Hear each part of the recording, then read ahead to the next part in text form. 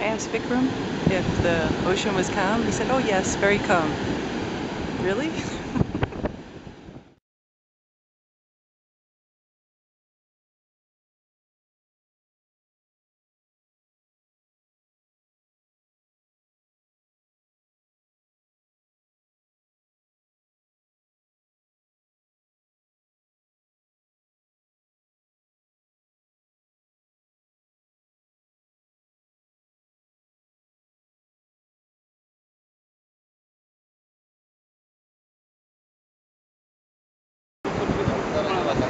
This is a poisonous sea snake.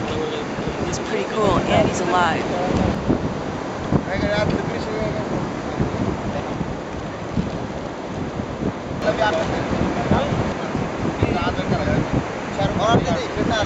गाडी